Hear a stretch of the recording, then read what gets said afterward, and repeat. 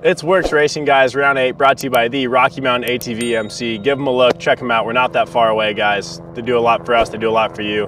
Anyways, we're in Mesquite, Nevada. It's a hot weekend, baby. It's the meat grinder. But we got amateur MCs taking off here in a little bit. Gnarly sand, super fun moto. Ruts are going to be deep. C class is going to be everywhere. B class isn't going to look much better, but we're going to have a good time watching it all, boys. Uh, 25 schedules out. Give it a look. Coming in hot and heavy with all our rounds are announced on there. And finally, check out the QR code, come to the banquet, get your trophy, say hi, have fun, have some drinks. See you there in December.